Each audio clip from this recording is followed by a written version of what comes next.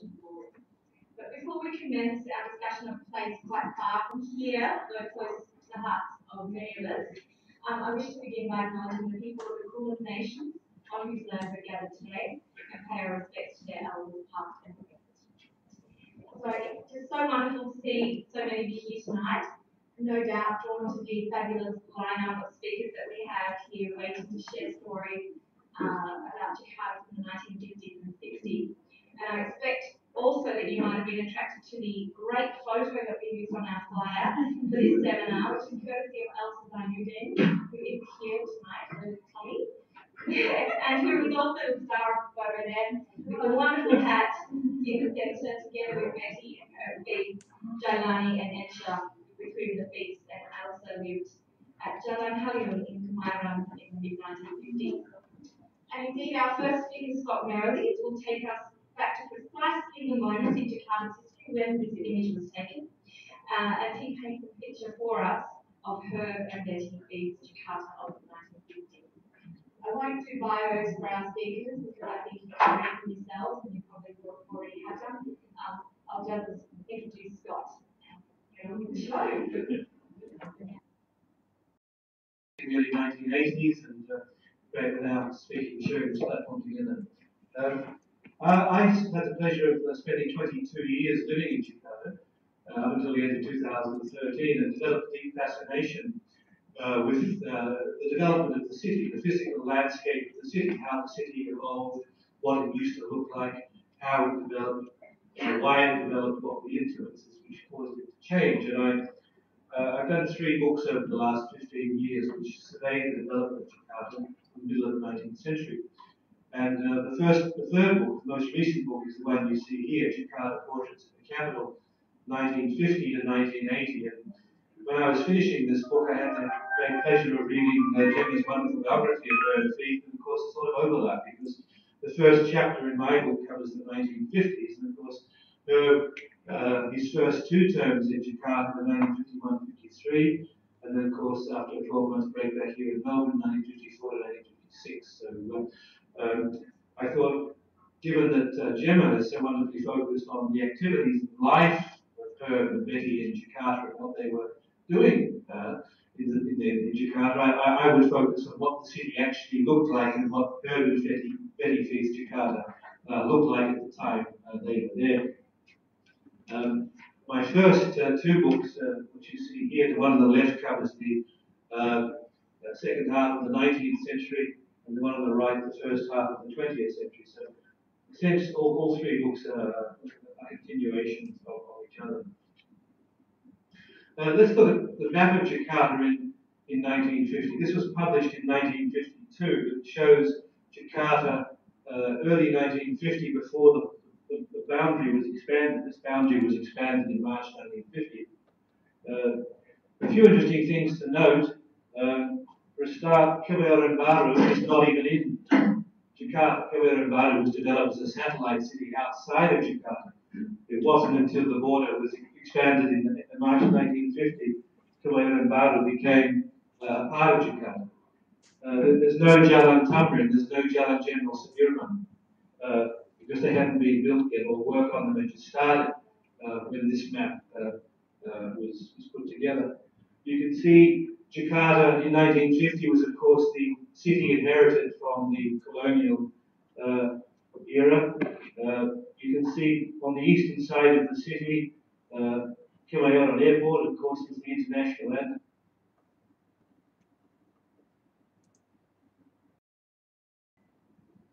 If we look at the southern part of the map in more detail, there again, Kebayoran Baru, uh, a satellite city outside the borders of the city. Of course, this map uh, is really only uh, 18 months before Herb arrived in, in Jakarta, so it's, it's, very much the Jakarta he would have seen. Because Menteng is here, uh, Menteng uh, was really a satellite city itself when it was built back in the 1910s. And um, so no Jalan Thamrin, no Jalan General Sudirman. Uh, a very different city.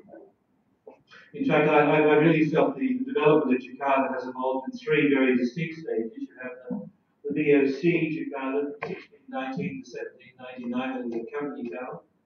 You then had the Dutch colonial city, which is really this area here, the third stage of the city of Jakarta didn't really get going until the very early 1960s, uh, which is outside the gambit of this talk. We're looking at Jakarta here where there's been no Thamrin, no Semarang, no Bank Indonesia building on Thamrin, no Semanggi, no Senayan, no Sarinah, no Hotel Indonesia. Uh, it was a very, very different, uh, very, very different city.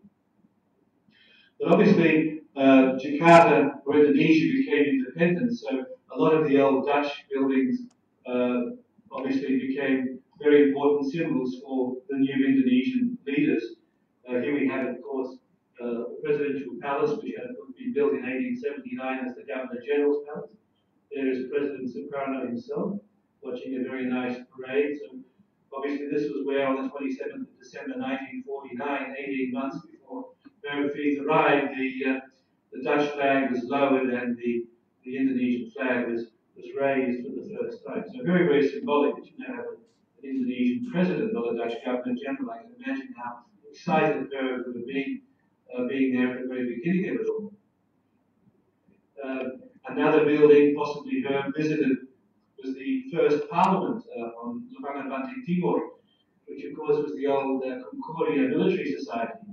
There was a, a club, a social club for uh, Dutch or European uh, army officers. Uh, obviously, in modern Indonesia, it becomes an Indonesian building, and again, very symbolic as the parliament building between 1950 and 1965. I'm sure, as we see in Jemma's book, Herb had regular contact with the members of parliament uh, in what was obviously the important parliamentary democracy phase of Indonesia in the first half of the 1950s. Uh, Herb may well have uh, visited this building to meet some of the members of parliament he was talking to. Uh, sadly, no longer exists. It was demolished to make way for the Ministry of Finance building. Another very symbolic building where uh, the Volksraad, of course, used to hold meetings. Um, the Volksraad were, of course, the, the People's Council, where Indonesians like Muhammad Husni Thamrin were, were minorities uh, in their own country. Uh, obviously after uh, independence becomes an important building and of course becomes the Kementerian Luar the Ministry of Foreign Affairs. Of course it's here where uh, Sukarno already his famous uh, uh, Panchas Sila speech or possibly didn't read it and uh, um, spoke off the top of his head. Of course this building is still here, again very symbolic as the Gedung Pancasila. Um, where did Herb actually work? And the next two photographs are not from my uh, book, but uh, we know from Jemma's work that uh, Herb worked for the, uh, the Ministry of uh, Information, and their head office uh, was actually Medan Merdeka Barat, on explained West number 9, which is this building here. A lovely colonial building which dates back to at least the 1860s, It was owned by the Arifin family in the 1860s, a wealthy uh, family of Armenian merchants. So you can see here, Kementerian Penerangan, Ministry of Information. Uh, now, we can only presume that Herb worked in this building, but um, here's the same building again when it was the German consul between 1911 and 1914. Uh, lovely, lovely building. Imagine you couldn't fit that many people in it, but obviously um, ministries were smaller in those days. Uh, this is probably the building that uh, Herb and Kusmali Bondan, um, who looked after Herb in the early days, sorry, who looked after Herb in the early days, would have, uh, would have worked. Um, sadly, no longer exists. Uh, in, in, we, we again see from uh, Jemma's book that uh, the beginning of her second tour of duty in Jakarta, he was impressed by some of the modern buildings. In fact, quoting from page 157 of Jemma's book where in fact she quotes from uh, a letter that Herb wrote. Herb was impressed with the large number of new buildings, mostly public buildings, as, quote, quite staggering in both size and architectural style. Australia has very few that can compare with some of things. I imagine this would be one of the buildings he was referring to. This is the Ministry of Agriculture building. I see Hugh, an architect, there smiling in the front. Um, doesn't do a lot for me architecturally, um, but it was uh, possibly one of the imposing buildings that, um, that uh, was writing about in, in the mid 1950s. It's now the General Election Commission building, um, still designed by a Dutch architect. It wasn't really until the very, very early 1960s in Jakarta we began to see the work of Indonesian architects emerging. But this was the Dutch architect Smelling. Uh, and this is probably one of the modern buildings on Jalan Imam Bonjol, which, uh, which Herb was uh, uh, referring to. Sorry. We know where Herb lived. Herb lived in Baru. Of course, a satellite city where development really only started in the late 1940s, early 1950s. So Herb was moving into uh, Molly Bondan's house. Molly herself had moved into Kebayoran Baru in October 1950. And Molly's wonderful uh, biography written by her brother and another person after she passed away, she noted um, that Kebayoran Baru, although now it's of course central Jakarta and together with Menteng, the two most valuable suburbs in, in Jakarta in terms of land values, um, Molly, uh, in the book um, of Molly Bondan, it mentions people didn't like Baru because water was in short supply and it was very quiet at night since only a few houses had been built. There were no doctors or chemists, no public buses, and not even one cinema when we moved there. We travelled to and from work every day on the buses and trucks the government supplied its employees. The first school was only just being built, and people travelled by becak or horse-drawn dokar to visit friends in the old area or to go to the nearest market of Kebayoran Lama. We thought the air was fresher and cleaner than close to the city, which is an interesting observation. Of course, no one would say the air in Kebayoran Lama now is fresh and clear. But Molly moved in there in, in October 1950. Uh, Herb followed uh, in um, June or July 1951. Now, these photographs are from the mid 1950s, so a bit more development had taken place. But clearly, uh, we're talking about Kebayoran Baru at very, very early stages. This is the residence of the Norwegian honorary consul. So Herb used to ride his bike um, from Kebayoran Baru up to his workplace at uh, presumably the building we just showed you a little while ago. And um, that would have been a, a, very, very pleasant journey, one would imagine, back in the 1950s, uh, when Kebayoran, when uh, Sudirman and Thamrin uh, were still very, very, very, very quiet indeed. Of course, um, Herb and Betty would have seen a lot of things we can't no longer see in Jakarta anymore. The, the Harmony Club, uh, in 1954, when Herb was there, became the Jakarta Club. Uh, of course, open to Indonesians naturally after independence, whereas it hadn't been uh, before independence. We have here the, the Harmony Junction, of course, Jalan Veteran, Jalan Juanda, Jalan Majapahit. Um, very much an important centre of of life and activity in Jakarta in those remember the 50s and 60s. Um, nothing had moved south to Thamrin or Sudirman yet because Thamrin and Sudirman barely existed.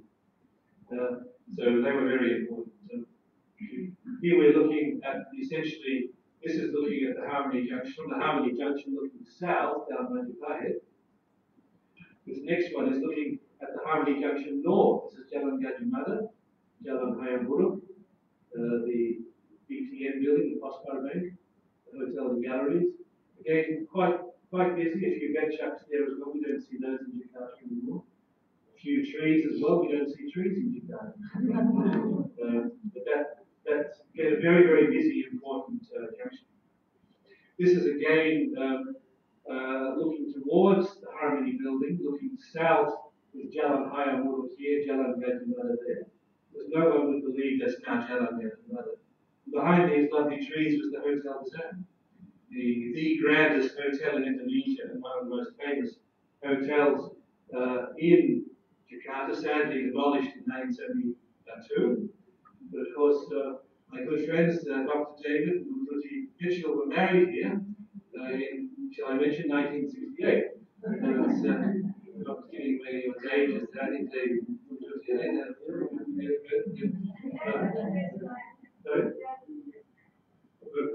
well, you did. well, you were there as well. but, but um, sadly, I mean, having this was allowed to survive, it would be the, the passage of the, the strand or the eastern oriental of, of Jakarta. Sadly, we lost it, and we have to do the Merlin complex uh, instead, which is, which is very tragic. It's never been a lot of, lot of questions which have never been properly answered about faith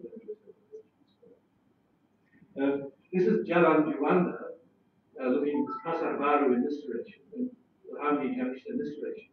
Again, because you didn't have the, the stage three of Jakarta, the Thamrins, the Sudirmans, the modern hotels, modern malls, the shopping areas in the 50s. So this was taken in the late 50s. So you've got your airline offices, your bookstore, the Van Dorp bookstore, uh, a lot of boutiques, uh, restaurants, cafes along Jalan Juanda.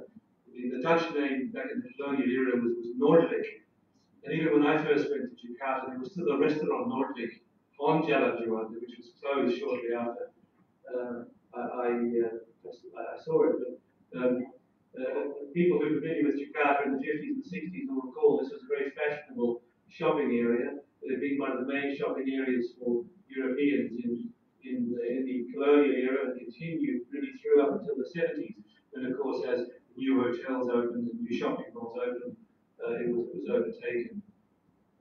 This bookstore here, we can see here, this lovely picture, the Van Gogh bookstore, the Jalan Pecenongan, Jalan Juanda, uh, very old bookseller uh, in Semarang, Surabaya, and Bandung. It didn't get to Jakarta until much later, until the 1940s, but they built this beautiful Art Deco bookstore. Possibly some of you may have bought books there, possibly yourself, you have been there And uh, that's now a Toyota showroom, so I think it's demolished now a Toyota showroom. It's a lovely example of architecture which is sadly lost.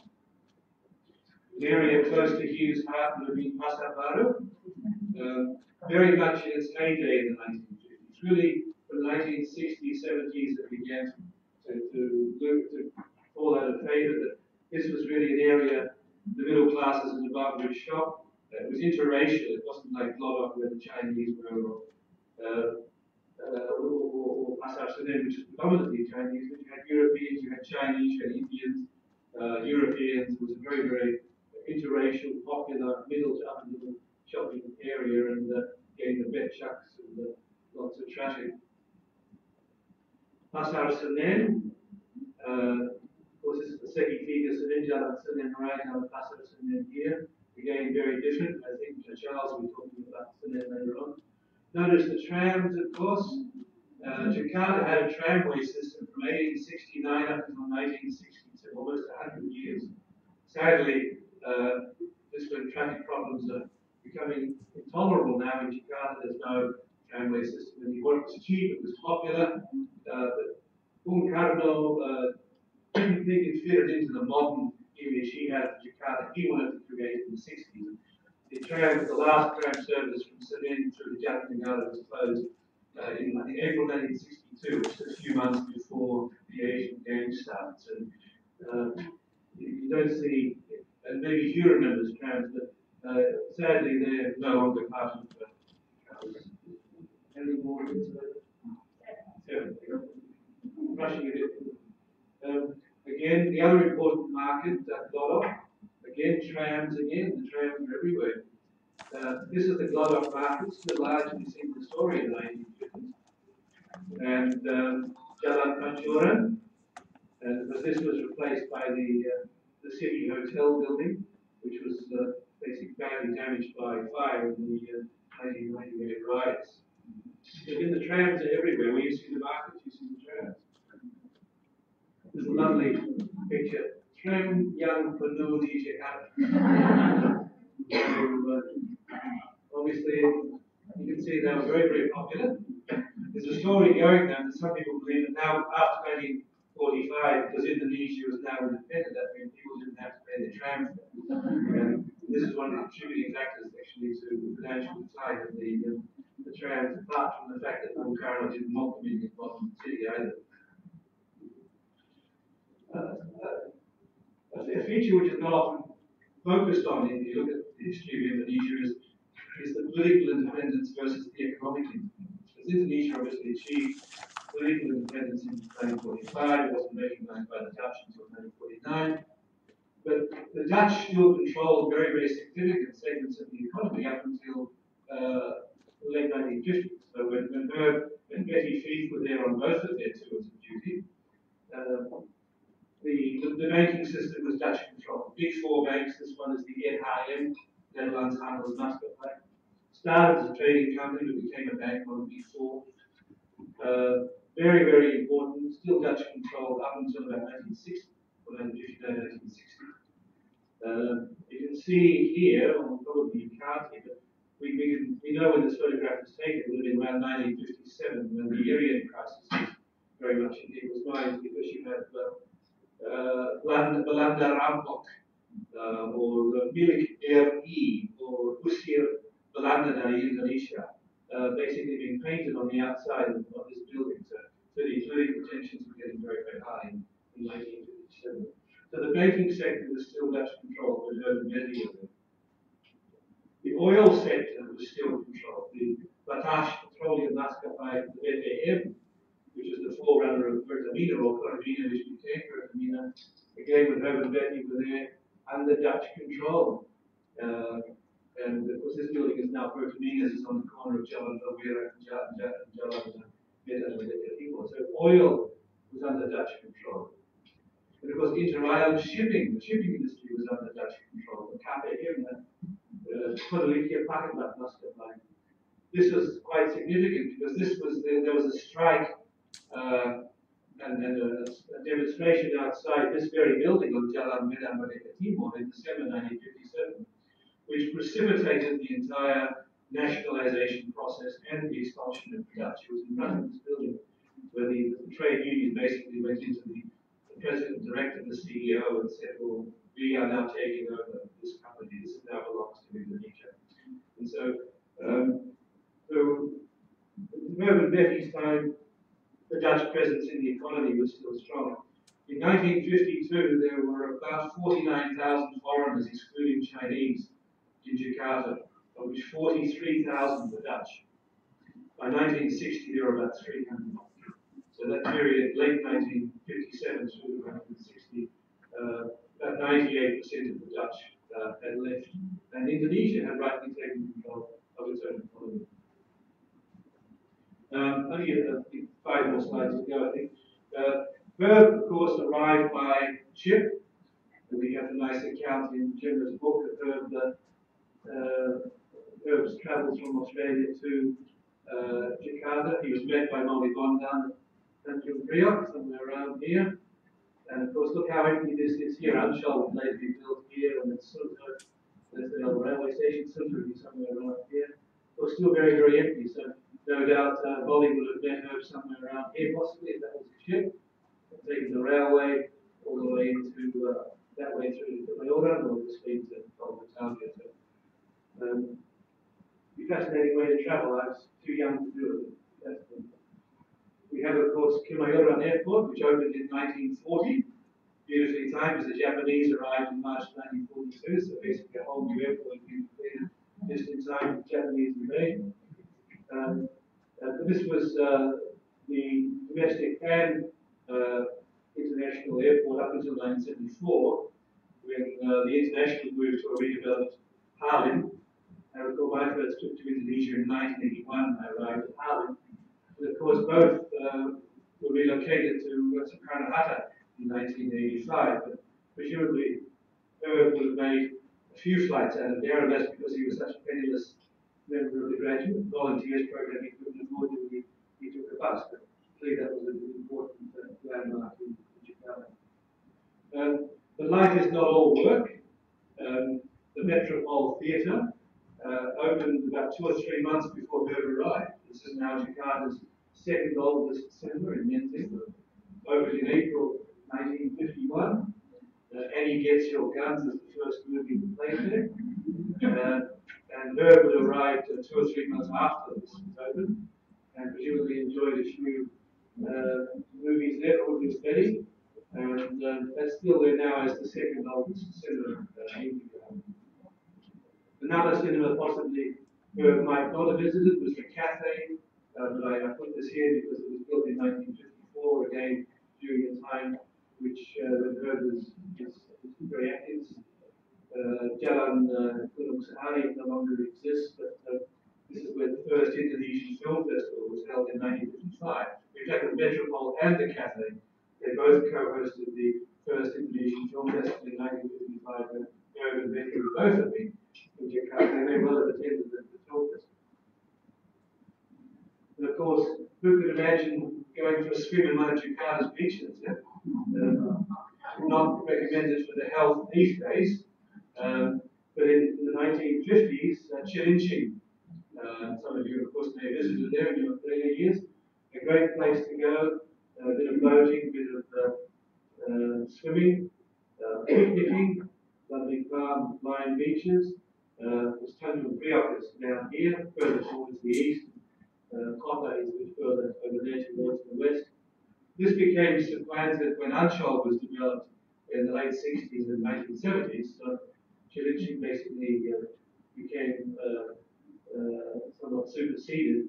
Sadly, now it's a very polluted slum. Uh, but going back to the 1950s, it was a very popular uh, and low-cost form of uh, weekend entertainment, possibly urban value, where I spent some time in Cilincing, as indeed may, as indeed may many of you. So I think I'm running out of time, and um, so thank you very much. And uh, I think that's the slides. So very happy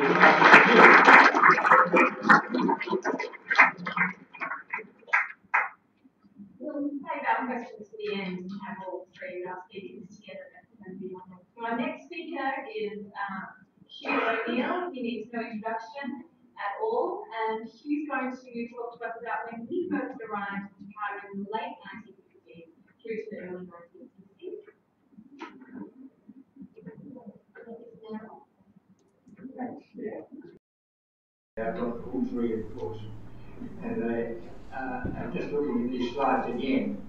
They bring so much much to them. Impossible. Every, every, almost every picture they had, I saw was. I was at the British wedding, and, I've been to most of those places. I know them very well, of course. It's when you get old, it's really extraordinary because those memories get rather more vivid. I'm not going to talk about architecture as much because I really, it's all about Herb Medieval because Herb talked at an SCM conference down at Top H and Roy Lonsdale and Betty was there too about being in Jakarta and after I heard him speak I, I wanted to go somewhere that was as far away from Melbourne as possible and was culturally as well as physically. And it wasn't physical, it was very close really. And here was an opportunity where the government paid for there. So I immediately said I'd like to go. And I was only in third year. And uh, uh, there were five years, and then we had to do two years before you went. You had to have two years of practice after graduating to be a volunteer. So I, um, I used to go and see Jim Webb, who was the warden at the union. I went to get out my notes and oh,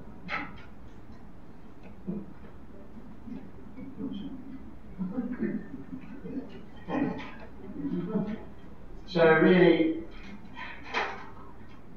my whole life, this, uh, first semester this year, I was teaching uh, Melbourne, uh, a final year design class on uh, working on heritage in Fatahillah, the old central part. Since that meeting down at Top H, and until now, it's been an obsession. And uh, even even I was asked to start a course in uh, the architecture of Asian societies in 1962, just after I'd been appointed to the University lecturer. And it was the first, uh, one of my students who was such a professor of architecture at said there's no such thing in America. And um, it was certainly the first in Australia. And that's a long story. There's so many long stories, I'm in difficulty. I better stick to my notes.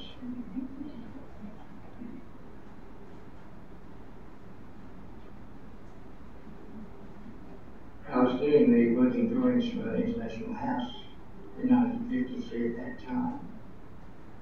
And the university was very focused on, on the Asian students coming through to, uh, to the that. And I knew them, of course some very bright people who came top this year. So,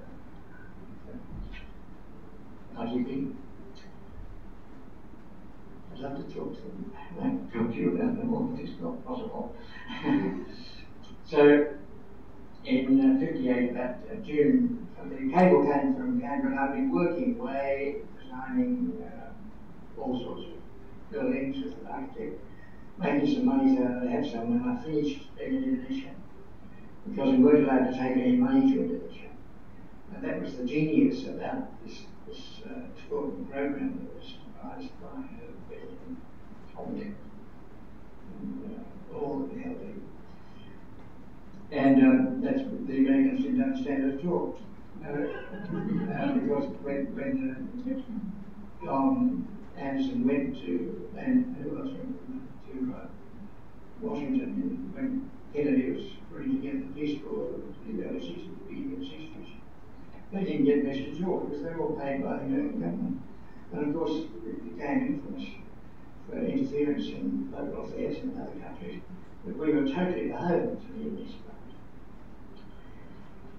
Went on the uh, Oceania too, the same ship, I think. And there were three uh, London students going home. One of them had done very well at Melbourne University, going for a nice job at ITB, engineering.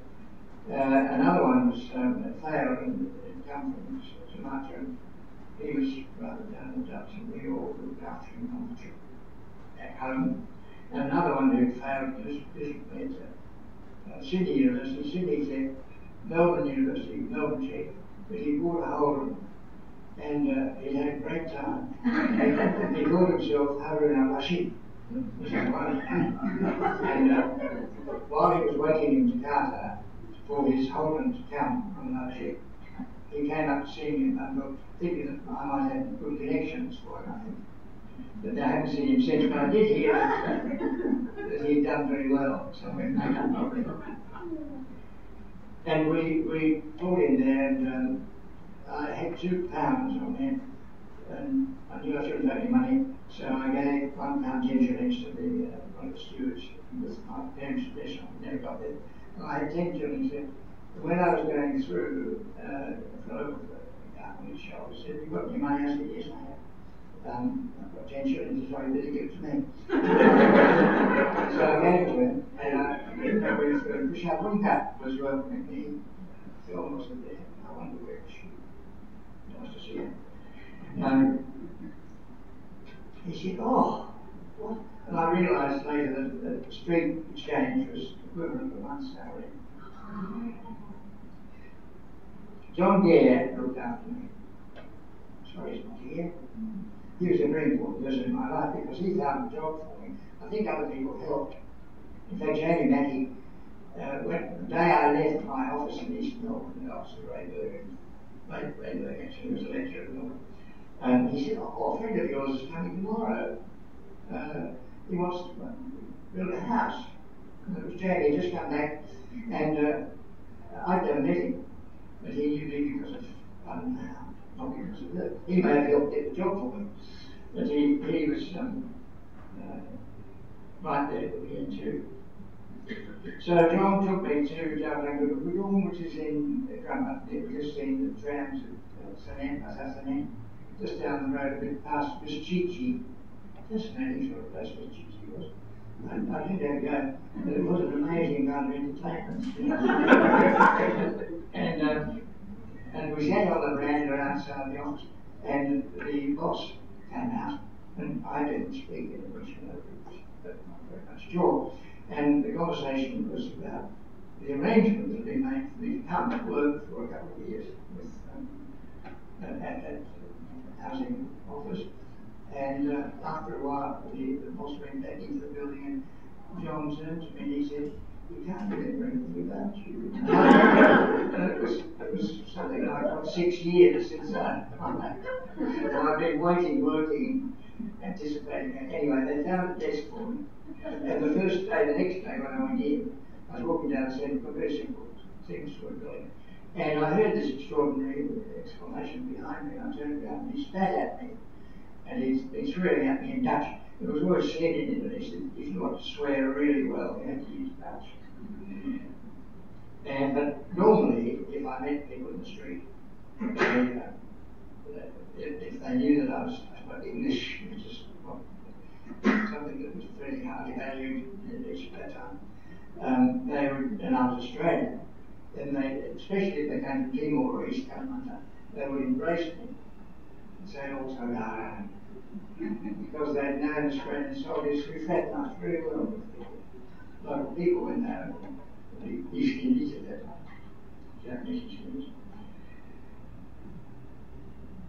So we had lunch at St. which was the thing. Ken Thomas was there, and um, who else was there? John was there, John Gunning.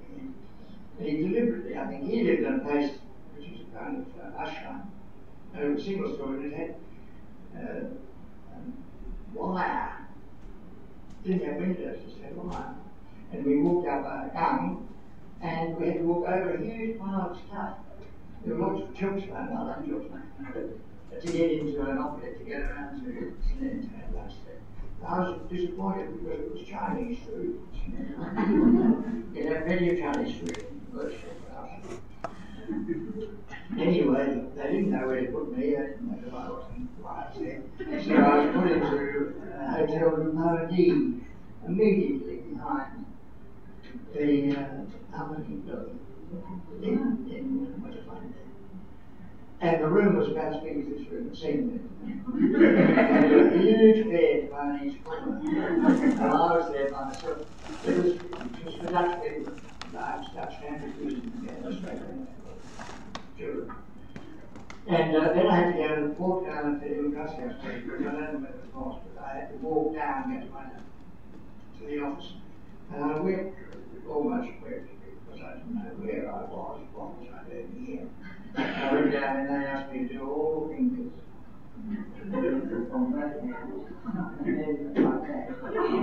oh well, I'm here now. then I had to report to the Australian embassy. Who should be the uh, culture attaché? Sam Dilley. Sam Dilley was the president of the SRC in my second year. and he was, he was very interested in international house and so on we were all interested in that. And um, he uh, had some money, and I went down to Pasar Baru. And I mean, it's amazing. When you play this, it's just fantastic. and I bought a bike, which was paid for by the Australian government. And I went back, and then he said, Well, we don't want to see you. Very easily, isn't it? At the didn't really want to see you. And you don't want to see us either, that there's one thing, you don't want to have any uniform on them. well, I, I was, um, I'd already uh, accepted an invitation for a meal the next Sunday. so out I went on and I stayed with uh, Richard and Thelma. Uh, uh, and uh, then we went round and had this one first home cooked food in Indonesia It was absolutely wonderful. Books everywhere, that's not it. and uh, Bogner was there, of course, Ali was there, and uh, after the meal, Molly said, you, let's go look in the garden. She's very interested in gardening, that. And. That's And there were three kinds of cheese. And we stopped as we were going, and she turned to me and she said, Hugh, this is my first time You need to remember that the Industrial Revolution was paid for by the peasants of Asia.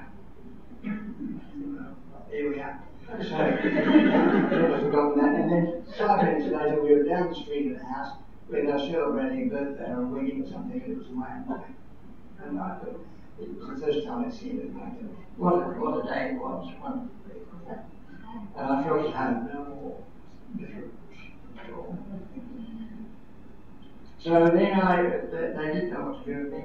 So one of them, as a senior, an old executive, Silvano uh, at ITB, uh, say you have a degree on, in uh, trade.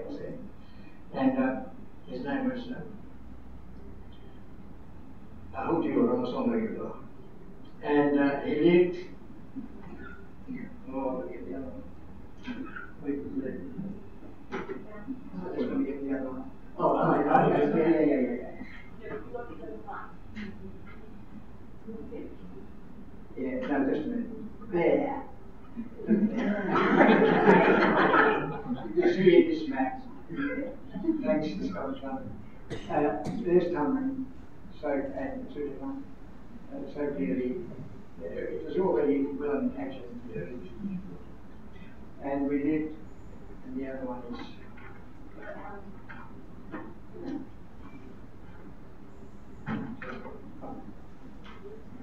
that's where we live there. Uh, this is, a- this is a new photo. Uh, it was a house that had just been built at the town, and really market. And, uh, the photo is taken from where the railway goes around there. You can see it on the other one. So this railway is going around there. And you can see the canal. And uh, they were so welcoming to me. Uh, they took it as Raya and Maya. Raya had just finished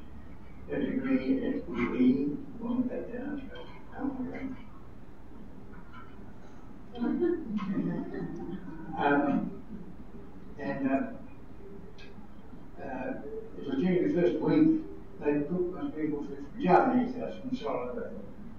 And uh, uh, we, um, we were sitting at the table, and the only thing I could do, I just happened, was a couple of weeks in, the only thing I could really do was to speak English. It was any use to anyone. In the office, in the office I was asked to design uh, housing for public servants over Indonesia. And of course, I start out with those principles and basic uh, design elements and so on. And I was presented with this book, hardback book, uh, and it had how you did it. And I'll find you a handbook about how you did housing so on. You completely contrary to everything I know. But I, I went ahead with it, and I believe there are some still standing I never seen them. because after a while I went to my home to teach, they wanted me to get my room to teach. But the extraordinary thing was living in this house, you know. I, I don't know how many people remember Jakarta when you worked from 7 a.m. to 2 p.m. Then you had decent meal, and then you had a little sleep, and then you got out again at 5 o'clock, and you went down. So, this was a very busy part of the tell you.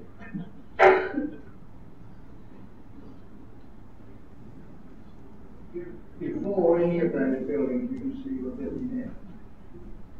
So this is where I walked out on the street. And um, uh, Pandura said to me, Hugh, if you meet a girl and you put your hand on her back and it's hollow, don't worry, don't panic. She, she's a, you know, the spirit who died inside. I probably won't do that. Girls boys didn't walk hand in hand. But boys and boys did. So he didn't tell me about the fact that when I went into the street, I can remember this was all from Leah's head, like she said. Where does thought come from? Uh. And uh, everywhere I went, these young people who were going to school, of course, had a tremendous enthusiasm about studying, particularly English language. When they all discovered everybody immediately I was Australian I. So I walked on the street and, you know, somebody got and my hand. I, I, was a bit upset and worried because this is where the diplomats used to drive to the night. They had a marriage. They'd see this floor, floor, surrounding floor. And of course, the idea was that you, and it was quite common, of course, no, no, you don't see it in Japan anymore, do you? I don't know. Men in Pakistan, all we walk But the idea was that the language might flow very closely. I think, I think that's what it is. And you release your hand, and then you get on the other side and take the other one. anyway, I was born But the extraordinary thing was the flooding. Now, the, the Dutch built Jakarta to drain away from the sea. We all know that Dutch water the sea. And, you know. So all the surface water in Jakarta drained away down Melbourne. And then they pumped it up into that canal I pointed out before, where it ran by gravity right around somewhere near Perth, west of Perth. And then they, they that pump the water up into the sea there. But of course, after uh, almost 10 years since the Dutch were in control, things hadn't worked so well from that point of view. And so it was up to your knees if they really got downpour, and in the evening, and it was common for them.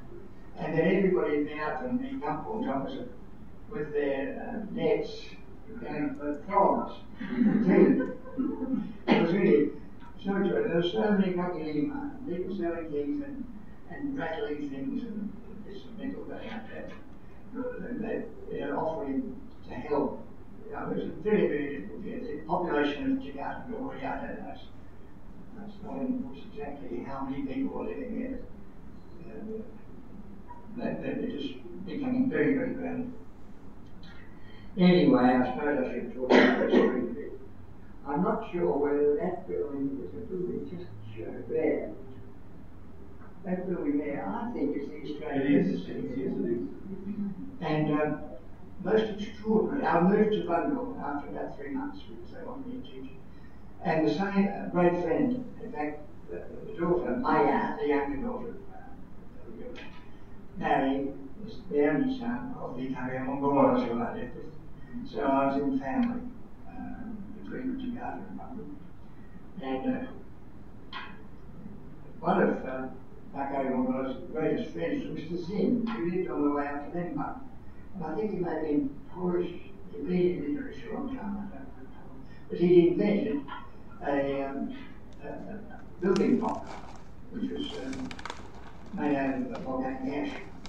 And uh, it was very well known and used it. Mr. Sin was employed, he was living in Croydon Road um, by the time they started building this just before the Gangler, 64, was it? The start of the Australian Embassy, I think. Designed, I don't was from the company. Mr. Sin was put in charge of it all. I used to go and meet him anywhere like where I just designed a house for my sister in Milburn. And he had to go back and forth to Chicago to supervise it all. He said they dump a load of screenings on the site in the morning and uh, in the afternoon, by the next morning it was all gone. and, uh, and, he, and of course they built it as a, uh, a fortress really because the British embassy was just out the. It was one of the earlier buildings. In behind there, uh, it was uh, marauded uh, because of the confrontation, I and uh, so they, they, they actually the press buttons were called custom. Should, uh, again, um, we, I was taking study in 67, and uh, Roman and myself and our five kids, probably was not yet one, arrived in Jakarta, and Urban he invited us to stay. And I really, I just really feel wonderful. Um, how big those houses were. I, I knew it was difficult, but I was used to Indonesia, you know, with piled in. But uh, There, she was about the same age. And uh, we stayed only two nights before we left London, and then where we were going to. And the house down in Jogja was organised by my Maria's sister, who died not so long ago, in the 90s. And there was also um, and um, we arrived there, and, and Helen and Michael Cook. Michael Cook was the charge d'affaires at the time, and uh, Helen is uh, Nixon, his wife, invited us to in the pool that was already operating. This is 1967, December. How how can we get on with that always? And um, they were all talking about things that happened backwards and forwards through Jakarta. And um, and then Bill Morrison was the uh, ambassador in David Jenkins Australia's article in the Sydney Morning Herald. One of our volunteers, I won't name I'm sure he has not. Um, he happened to get a copy of it, so the, the German people about comparing and the Suhartos with the Marcoses. And uh, I had to go up to try and stop them actually throwing this volunteer out. He did have to come home. which uh, he's absolutely devoted to have, enthralled by his work that he'd been doing only for a month or so. So it was, it was wrong. And, and, and uh, Morrison was very annoyed. I was president of I was chair of the Australian Politics International. And um, he, he uh, I sat down with him in his office. And he said, what's? Who are you? And, uh, and, and so I talked to him and then he said, oh, what, what, are you, what are you doing it? I said, oh, I'm an architect. I to, talked to architecture. She said, did you teach young more down here by chance? I said, yes. And I'm very quick. I think he should come with that student development. Oh, you lit his pipe and the was So that, I don't, this is, this is um, in 84 actually. It goes. And then there's which no one drawing on the book. And that's enough.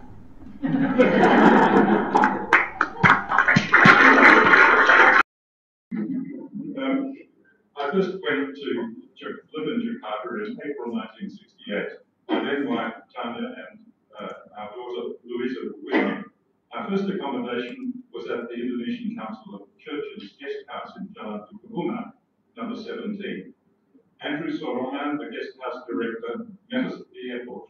His Australian wife Mary ran the, the, the DDE office. Uh, this connection clearly came through death.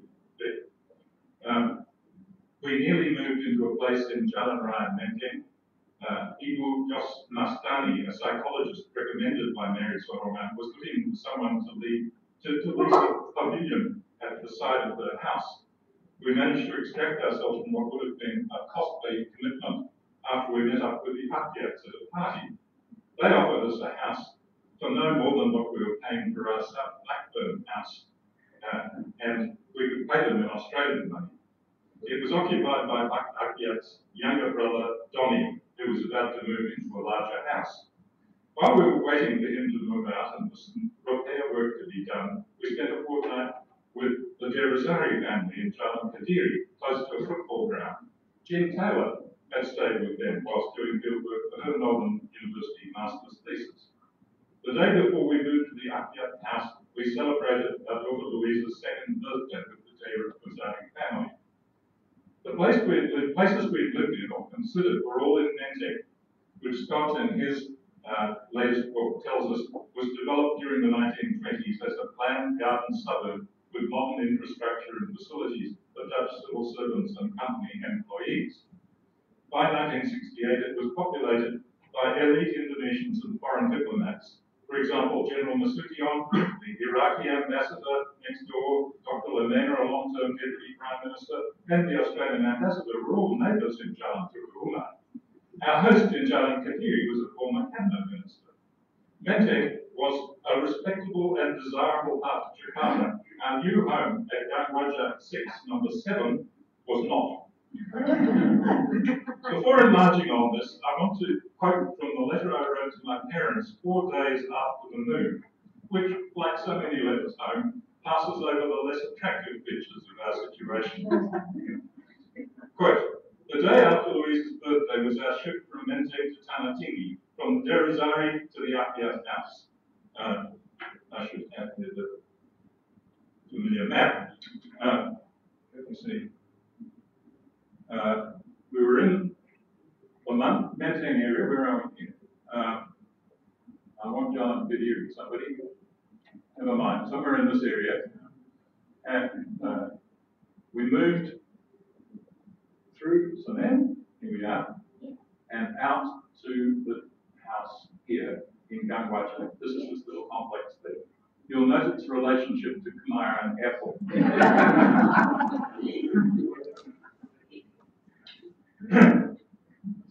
this is just south, as I was going to say, I quote again from the letter, just south of Kemayoran Airport, and we hear every plane as it skims over our rooftop coming into land. And that's how people who visited us in this house dived under the table. we were quite inured part in and just sat there cheerfully as that was the plane was going to crash. Um, there's the Senen junction, another picture. If you wanted to go to, uh, to from Senen out to the house, you take the road out to the right there, am I right, Scott? Yes. Uh, sorry, this right? Over there, through, and through there, uh, I'll come back to that in a moment. Uh, it's, uh, yeah, other one from that area. At that time, they were building this new uh, Pasar Senen, Project Senen, it was known as at that stage. So that in the previous one, those houses in the middle, at the back of the thing, uh, were all demolished to make way for that, which was Senen. Um, I wrote to my parents, it's a little like a house Carlton or East Melbourne terrace house. there it is. Narrow frontage, walls on each side shared with neighbours, small back and front yards. It has cement tiles as floor throughout, and the rooms, though not huge, are quite nicely proportioned with reasonably high ceilings. Meta, as Meta then was now Meta Smith, has moved in with us, and we are hoping the Ibu Akyat will bring back a servant with her from Bandung tomorrow for us. Well, this is not the one that she brought back, but the one who spent most of the time in this room, who, uh, uh, in fact, travelled with us uh, when we travelled to Semarang and Surabaya and Jogja later on. She went her first visit to a in Surabaya. To return to my letter home, I then included a sketch of the floor plan of the house. And I've copied it on here, but it was very similar to that. Um, and I went on to say, living room one is a kind of sun porch, glass windows on three sides, with window box plants all around. Living room two, rather nondescript, because virtually unfurnished. Living room three is the real living room, a sitting area with coffee table and four cane armchairs, and a dining area with table and four chairs. The fridge and also the fan usually grace this room as well. It has windows as well as glass door at the rear overlooking the backyard. A few window box plants there too. Both bedrooms are off this living room. Netta and Louisa are in bedroom one, Tanya and I in bedroom two, in which I have a desk. The backyard has a more or less open drain, revolting, water trough, kitchen table, and dresser. And Louisa is trying to tidy up the area near the drain. um, uh, office at the rear, a bathroom and WC, servants' quarters, and the kitchen. The whole place is small, but larger than we thought at first. It wasn't all wonderful. When we moved in, it was in a frightful mess. The wife of the previous oc- occupant, uh, his younger brother, had just come out of hospital, and little effort had been made to clean the house. In addition, workmen were still painting and cementing and doing odd jobs everywhere. It was all rather discouraging, as the work was promised to be completed before we moved in. The Arkiats were most embarrassed at the mess. Anyway, once in, we stayed, and we have had workmen in and out ever since. Tanya has done it pretty strenuous without a servant, and Louisa chose this time to have her first illness in Indonesia. I'll skip the page about how we dealt with that. I went on. It's a relief to see her full of life again. But we're glad to find a competent doctor for our needs locally, and the neighbours have all been very sympathetic and helpful. Now to the neighbours.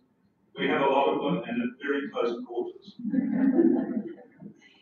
That's Gangwanja, number six. And our house, uh, number seven in Gangwanja, number six, is there. It's in Bristol. Uh, uh, our house is in a gun or lane, barely wide enough for one car, with no footpath. The lane is in a complex of lanes, with houses mostly occupied by public servants. The only cars allowed to enter the complex are those owned by the residents, so there's a minimum of vehicular traffic. But the lane is rarely free of people.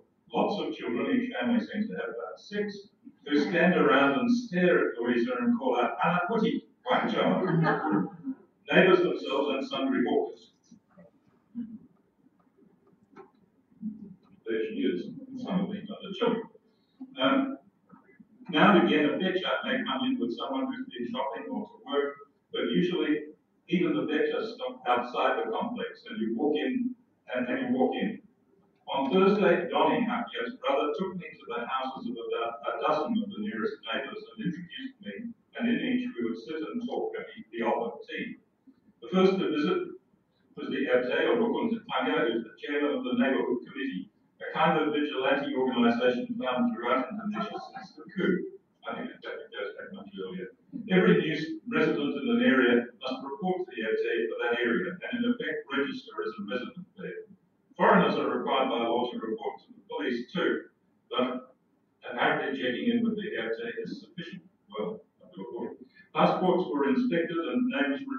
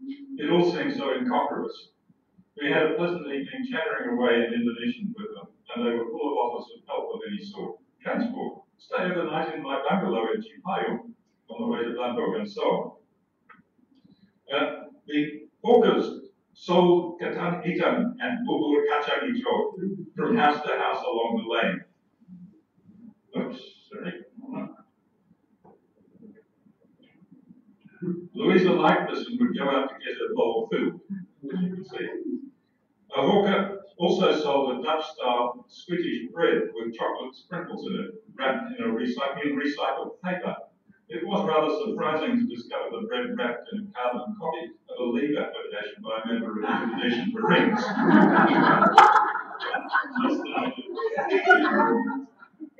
to spare our parents' anxiety, we censored many of the more insalubrious features of our situation. There were health risks. First of all, although we boiled all our drinking and cooking water, the proximity of the toilet to the water supply and the cracks in the cement between them probably accounted for a number of gastrointestinal problems. When I extended the length of our stay in Indonesia to a year, thanks to converting from master's to PhD candidature, we negotiated with the RPS uh, to have uh, some further work done.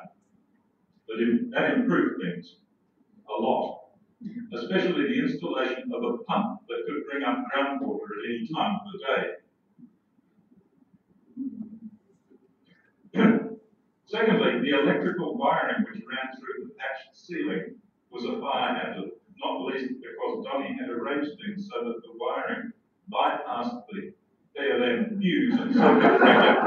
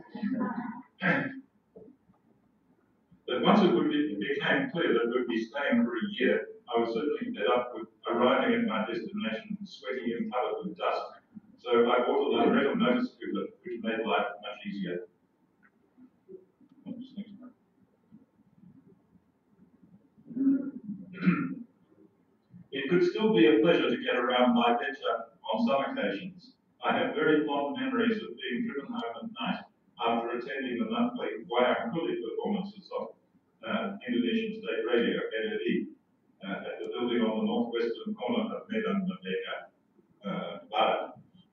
In the relative uh, coolness and still of the night,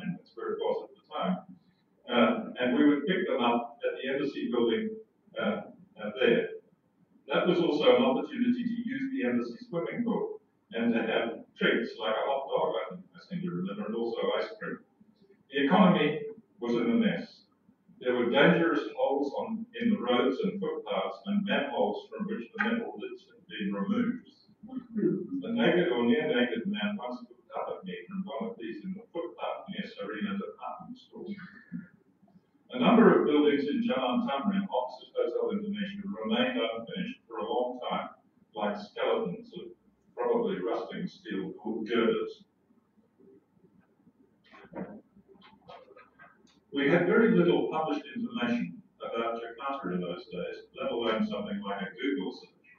It would be some years before there were any guidebooks like those by Tony and Maureen Wheeler, Across Asia on the Cheap, Southeast Asia on a Shoestring, the predecessors of the Lonely Planet Guides, or the Indonesia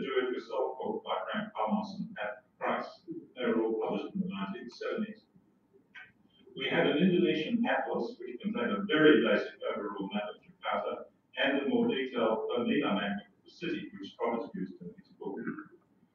There was also a small stenciled shopping guide produced by the Australian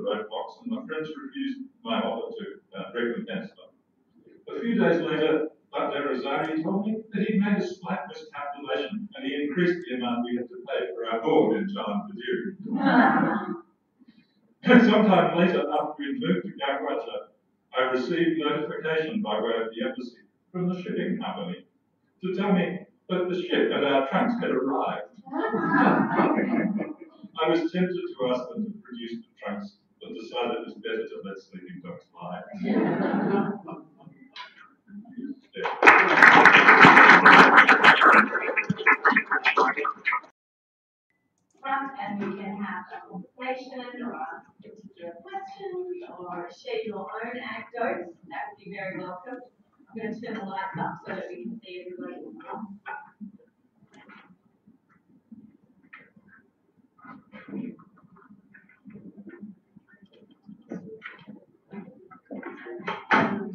Okay, David Mitchell. I would like to confirm that, that Charles was indeed in the side, in fact. When I, uh, I can't remember exactly, but I know when I was asking how I, how I got there, that there could possibly be a, um,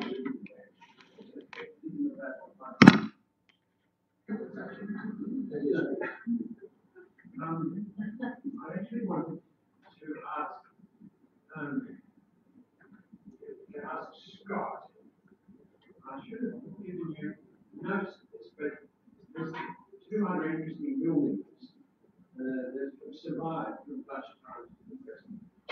Um, that have both been rescued by by uh, Sangkot Marzuki, who I don't think Melanie is here, but um, so first of all, in Johannesburg, along uh, a few doors along from the metropolitan area Magadia, there was the um, the Eijkman Institute, which was actually a significant medical science research institute Gastein.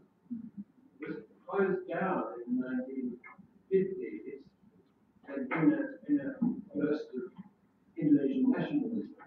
Um, and it wasn't until uh, Habibie was the Minister of Research in that, uh, you know, sort of people like Habibie and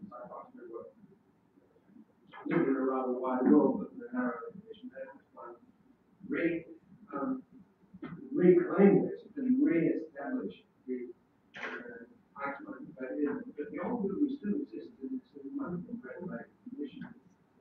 The other one is in, in, uh, Merdeka Selatan, right there, right next door to, uh, to, to, um, it name, our office. There's an old Dutch building. I'm not sure what it was originally and what its history was, but it is now being capt- recaptured for science. It's now the headquarters of the, uh, Indonesian uh, National Academy of Science. Now that Sangkot is the, is the president of and it's definitely the restoring it to its original condition because bringing in lots of old did. There must be somewhere in my backup stuff. Uh, Yes, th- those buildings are, very much in existence. Of course, Jalan Diponegoro, we have the, the, what was the Central Ziekenhuis, which is now the Rumah Sakit Cipto Mangunkusumo. That, that dated back to 1918, if I recall correctly. I think the Eijkman Institute is built either next to it or just behind it. Of course, I think it was 1928 or thereabouts, the, uh, the Haris, uh, too difficult for my poor Dutch, but the, the medical school, the, which was opened and then became the medical faculty of UI in Salemba, of course, just round on the, the corner of Diponegoro and Jalan Salemba. Um, you, you mentioned Medan Merdeka Selatan, of course, that really has some of the best preserved of the, uh, the, Indie style uh, colonial houses. Um, of course, the, the one you mentioned uh, uh, was actually originally uh, a scientific institute uh, back um, when the Batavia Genootschap, when the Batavia Society of Arts and Sciences decided not to focus on science, instead to focus on linguistics and antiquities. Uh, they set up a separate institute for uh, sciences, and that was actually located pretty much in the center uh, of Medan Selatan. And of course, you've got the, uh, the official office of the vice president there now. You've got Ahok's office, the, the, um, uh, the official office of the, the governor of Jakarta. The, the, the director of the Javasche Bank, uh, the, the Javasche Bank was the, the central bank of Indonesia before it became Bank Indonesia in 1953, he also lived in Medan Merdeka Selatan, and one of those very fine homes there. So fortunately, they've, they've now been they've been saved. It was the if you go to the east end of Medan Merdeka Selatan, now you've got the, the new American embassy under, under construction. Uh, that's going to dominate the entire street, but still, fortunately, um, Merdeka Selatan does have some very, very nicely preserved buildings, which uh, I'm sure will continue to be preserved. More comments or questions? Um, anecdote, Ron? and then-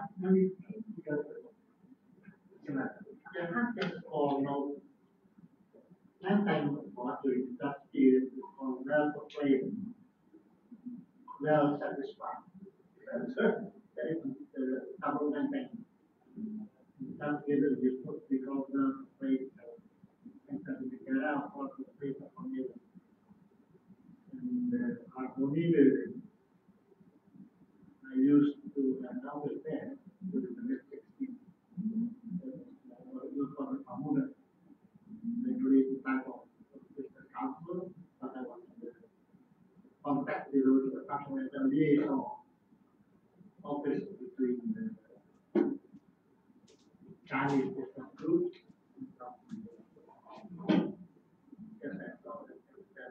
And also run things that, and they have taxes, they respect the Japanese. So the Japanese represented the local. I was misinformed at the time, I was quoting from my letter. and was very much uh, intensified during the term of Kennedy. And uh, we are over. Thank you. Actually, Mahan, uh, Weltevreden was much just minting. Weltevreden was actually a, an estate which dated back to the 18th century, which was owned consecutively by a number of governor generals. You almost acquired it when you became governor general, and you sold it when you lost the, the governor generalship. And um, there was a very large house there, roughly where the Gatot Subroto Military Hospital is now in, in, Senen, um, which uh, existed up until about 1820. But um, uh, it was 100, 100 years ago, 120 years ago, it was very, very common to refer to the northern part of Jakarta as Batavia or Kota, and then the whole southern part of Jakarta as it existed up until the end of the colonial era as Weltevreden. So Weltevreden actually, you could have been in Tanah Abang and they would have said Weltevreden, you could have been in, in Kramat and that would have been regarded as Weltevreden as well. In fact, in 1905, when the Batavia City Council was uh, formed, the Gemeente Batavia, um, the, the three districts of, or the two districts that what are now Jakarta officially Batavia in the north, and the second one was called Weltevreden in the south, and the other one you mentioned, Mr. Cornelis, was absorbed into the council in 1935. So, so um, was, was a very, very well-known term, and um, obviously you still have memories of it, and um, uh, it became Batavia Centrum in about 1931, 1932, but certainly Weltevreden was a, was a very, very common expression that you'll see if you study history. Um, for many of us who lived during that time, it's been a really lovely uh, trip down memory lane. My name's Ron Witton.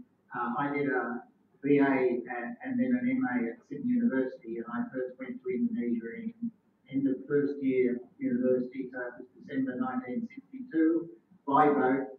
Um, so landed in Tanjung Priok um, and stayed in Mangga Besar of uh, an Australian, an Indonesian student's family, Indonesian students at university who'd uh, got me interested in Indonesian language, and that's where my studies started. But my memories of Jakarta at that time, if you went from Hotel Indonesia towards Kebayoran Baru, you still had rice fields on both sides uh, as you went. So it was rural to get to Kebayoran Baru. Um, uh, then later on, and uh, I met um, people like Pak Tahija, who had been in Australia, like the Bondans, had married an Australian, uh, went back and uh, was helping run Caltex. And so he gave me um, introductions to people like Bambang Utoyo in uh, Palembang, who adopted me and I stayed with him, was a military commander of the armed forces for a while. But by the time I came back at the end of third year university, so that was in late 64, beginning of 65, um, uh, I flew in to Kemayoran. Um, and by that time, Third Fleet was going to be my supervisor.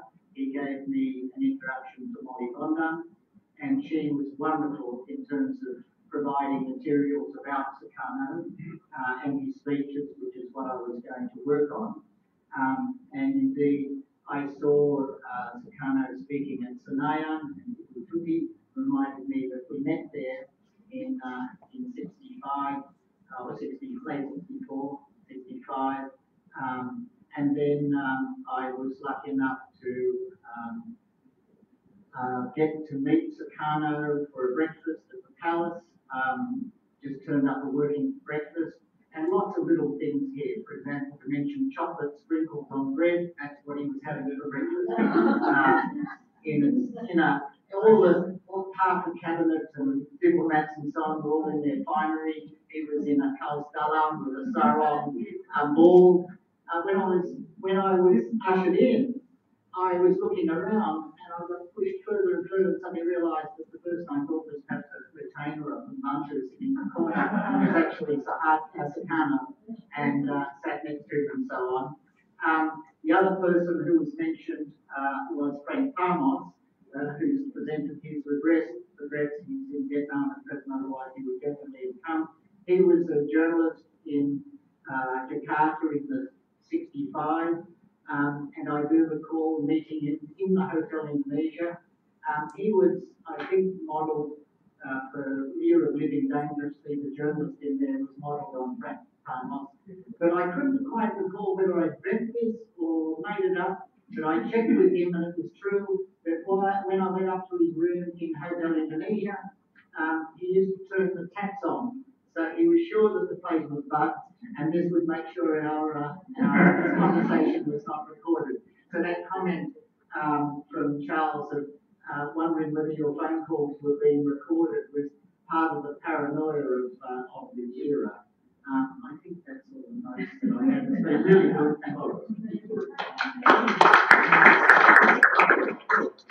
This gentleman that just spoke mentioned Julius Tahija. Well, Julius was instrumental in practicing me and making me stay on in Indonesia during all those years. We got out back from the Indonesians. But my understanding, because I wanted to address you and say that you mentioned that where you live and the British Embassy. And as a newcomer to Jakarta, I was up in the Oriental Bar in the Hotel Indonesia looking at the riot that was going on at the British Embassy, and this guy came out with his bagpipes. And it was so funny, and, and the whole joint with it. So, Uh, yeah, please. You were all in Indonesia at the time of Great Big Change. You were in Indonesia at times of great political change. But no one has mentioned anything about the horrors of 65, for example, or, you know, the, the things that were happening to Indonesians while you were there. I mean, it's as though you didn't witness any of the atrocities or witness any of the, I mean, even I have been there and witnessed horrible things in Indonesia. But you've just glossed over all that. Well, Why? the, the, the focus was Herb and Betty Feith's But he, he would have, Think of but it he would have seen that too. What was his reaction to those things that were happening there? Well, read Jemma's biography and we get some of that. But can I uh, say in response to that? Um, what I was doing in Jakarta was uh, trying to do postgraduate research on the situation of the Chinese at that time. And they were in an extremely difficult position during that period. Um, I didn't have any formal approval from uh, uh, LIPI, the the, uh, Research Institute, which formally I should have. I managed to wangle in some way some kind of letter of authority from Professor Salos and Martin, his institute. But uh, I was meeting people who were uh, uh, on the run, as it were, at that time, people who had relatives who had been uh, jailed or who had been killed at the time of the violence in late 1965. Um, I didn't see it as my task to politicize what I was saying this evening about my experience of living in Jakarta, because mostly my experience of living in Jakarta had nothing to do with that, other than that I had to steer a very careful course uh, to ensure that I could stay in the country and continue to do, do my research at that time. Uh, and uh, uh, most of the worst of the violence that took place in 1965 took place a long way away from Jakarta in the villages, especially in central East Java and Bali, but also in parts of Sumatra and other parts of the archipelago. But it was overwhelmingly uh, uh, uh, violence that took place in rural areas and not in the city. We've been talking about Jakarta.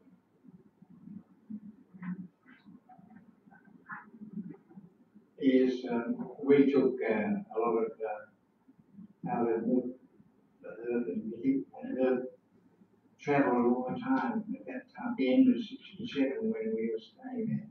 He was travelling to the uh, prisons, particularly in West Kalimantan and with us, um, and visiting old friends that he knew when he worked in Jakarta in the early 50s.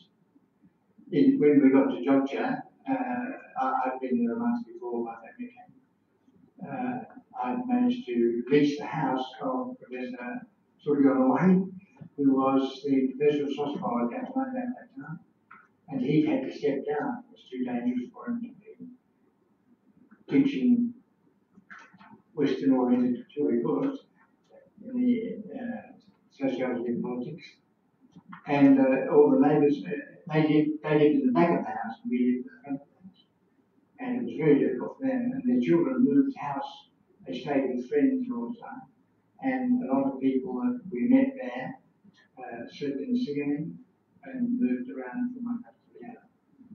Exactly what uh, Charles said, you know, we, uh, we didn't see the really ugly things, heard it, he visited friends who of course, suffering for it.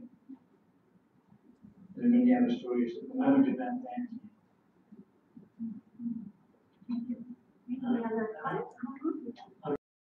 In Indonesia I met when I was doing my research. He'd seen my first book and uh, he said he, as a small boy, he used to take the tram along Jalan Gajah Mada, but he and his friends were obviously all small boys at the time, would jump on the tram and wait till the conductor saw them and then jumped off again at the gate to see how far they could get along before uh, the conductor uh, kicked them off the tram. But Hugh being very law-abiding, I'm sure he paid his, uh, paid, paid his fare. Um, the, the, the trams started out as horse trams in 1869. Um, but the death rate amongst horses was very, very high. And um, so they switched to uh, uh, steam trams. And uh, you're asking about the technology, source of the power. Well, the, the steam trams started in 1884, and they were they were compressed steam. They were they were um, in, in near the Amsterdam gate in Pasar Ikan, or near Pasar Ikan, there was a, uh, a device which could basically inject uh, compressed steam into what was a very, very large, you probably call a gas pot. And um, that way you didn't have to actually burn anything as the tram was moving along because the, the power came from the compressed steam on each individual train. And um, there, there was one up in Pacific and there was one down in Jatinegara. So the tram would be able to travel all the way down from Pacifica to Jatinegara and then it would have to refill with compressed steam. Um, this was a very effective way of doing it because obviously if you were burning coal or burning wood on the tram and the smoke was going behind you, there weren't there wasn't glass in the windows of the passenger cabins, so you would have been covered in soot. So it was rather interesting technology. The problem was the, if the compressed steam bottle exploded, this would run like a, what you use at a barbecue today, except much bigger. You can see that in the photographs in my second book. Um, there was in fact an explosion, I think around 1906, and did quite a lot of damage, but they were surprisingly rare. The steam trams operated from 1884 to 1933, I recall correctly.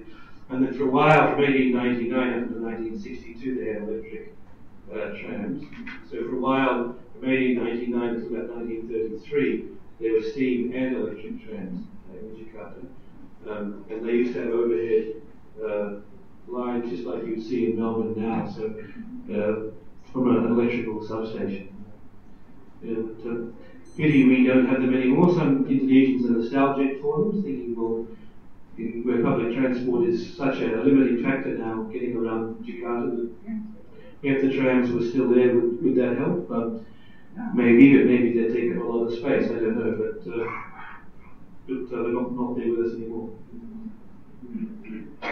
we've got time for one more comment, if there is one. Otherwise, we can take it outside into the foyer again and have a bit more chat. Um, I think Scott's books are there for sale. Um, we've also got some books from the Herb Feith Foundation translation series available um, out there. So I don't think there's a burning question. So we will please thank all of our speakers. Thank you.